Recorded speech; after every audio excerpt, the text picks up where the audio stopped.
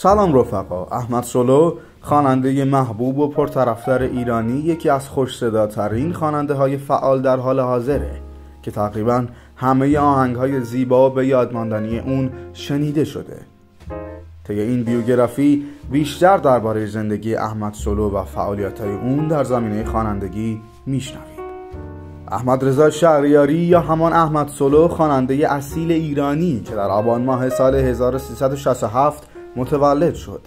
احمد سولو در سنین بسیار پایین که به دوران کودکیش برمیگرده علاقه زیادی به موسیقی و دنیای شعر داشت. به گفته خودش فعالیت های اون در زمینه تولید موسیقی به 18 سالگی برمیگرده. فعالیت های احمد سولو در دنیای موسیقی محدود به خوانندگی نبود بلکه آهنگساز حرفه‌ای هم بوده.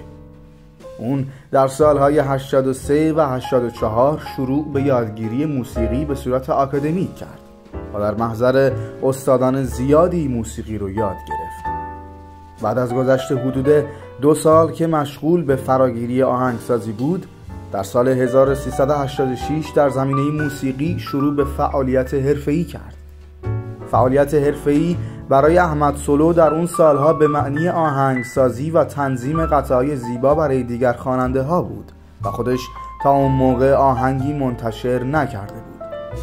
حدود دو یا سه سال احمد سولو مشغول به آهنگسازی و تنظیم ترانه برای خواننده های ایرانی بود که آخر سر در سال 1388 علاقه اون به خوانندگی شکوفا شد و پس از اون علاوه بر آهنگسازی کردن برای خواننده دیگر شروع به آهنگسازی برای خودش کرد.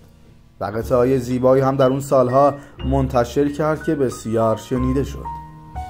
سایت نودونی به پاس قدردانی از این هنرمند جوان شاگسته و محبوب و دوست داشتنی آثار زیبای اون رو نوت نویسی کرده و در اختیار دوستداران و هواداران محترم احمد سولو قرار دادند.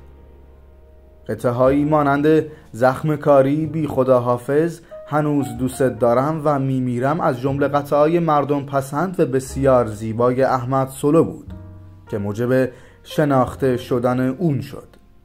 در سال 1391 اولین قطعه احمد سولو پخش شد. جالبه بدونید این آهنگ به عنوان اولین قطعه اون مورد استقبال زیادی قرار گرفت تا اینکه در سال 1392 احمد قرار دادی که با شرکت آوای مهر میهن بست اقدام به تولید آلبوم اول خودش کرد. نام این آلبوم آخرین بار بود و بعد از گرفتن مجوز از وزارت ارشاد پخش شد. آلبوم احمد سولو استقبال زیادی داشت و توجه بیشتری رو به سمت این خواننده جلب کرد و باعث دیده شدن او در فضای مجازی هم شد. آلبوم آخرین بار نتیجه زحمت فراوون احمد سولو به همراه هنرمندان زیاد دیگری بود. که اینگونه به زیبایی منتشر شد. افرادی مثل بهزاد مهدوی بخش مهدی عرب مجید جوان فریپرس خاتمی از جمله کسانی بودند که برای این آلبوم تلاش شبانه روزی کردند. نمونه کارهای بی نظیر و خواستنی احمد سولو کم نیستند و تک تک آلبوم های این خواننده با استقبال فراوونی روبرو بودند. در ادامه به فهرستی از آلبوم های محبوب احمد سولو که تاکنون منتشر شدن اشاره می کنیم آلبوم زخم کاری آلبوم شاه دیسلاو آلبوم درد و دل آلبوم پادشاه احساس آلبوم بعد از تو آلبوم روانی و آلبوم خدای احساس.